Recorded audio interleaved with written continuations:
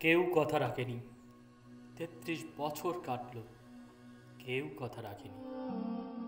ছেলেবেলা এক গোষ্টমী তার আগমনী গান হঠাৎ থামিয়ে বলেছিল, শুক্লা দ্বাদশীর দিন অন্তরাটুকু শুনিয়ে যাবে। তারপর কত চন্দ্রভোগ অমাবস্যা চলে গেল। কিন্তু সেই গোষ্টমী আর এলো না। পঁচিশ বছর প্রতীক্ষায় আছি। মামাবাড়ির মাঝি নাদের আলী বলেছিল বড় হ, দাদা ঠাকুর। তোমাকে আমি তিন পহরের বিল দেখাতে নিয়ে যাব।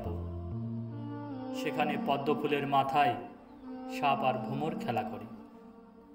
নাদের আলী, আমি আর কত বড় হব? আমার মাথায় ঘরে ছাদ ফুড়ে আকাশ স্পর্শ করলে তারপর তুমি আমায় তিন পহরের বিল দেখাবে? একটা রয়্যাল গুলি কিনতে পারিনি কখনো। লাঠি আর লজেন দেখিয়ে দেখিয়ে চুষেছ লস্কর বাড়ির ছেলেরা ভিখারির মতন চৌধুরীদের গেটে দাঁড়িয়ে দেখেছি, ভিতরের রাজ উৎসব।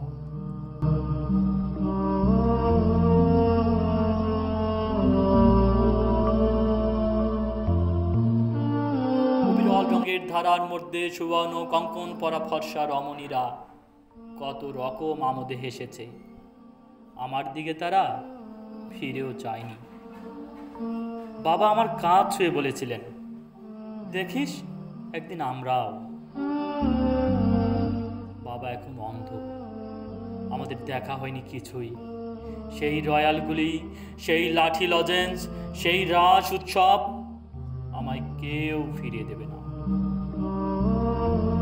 বুকের মধ্যে সুগন্ধি রুমাল ঢেকে বরুণা বলেছিল, যেদিন আমায় সত্যিকারের ভালোবাসবে, সেদিন আমার বুকে এরকম আত্রের গন্ধ হবে। ভালোবাসার জন্য আমি হাতের মুঠোয় প্রাণ নিয়েছি।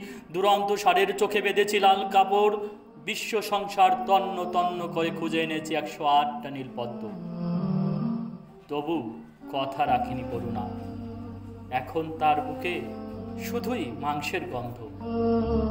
এখনও সে যে কোনো নারী। কেউ কথা রাখেনি। তেত্রিশ বছর কাটলো। কেউ কথা রাখেনি কেউ কথা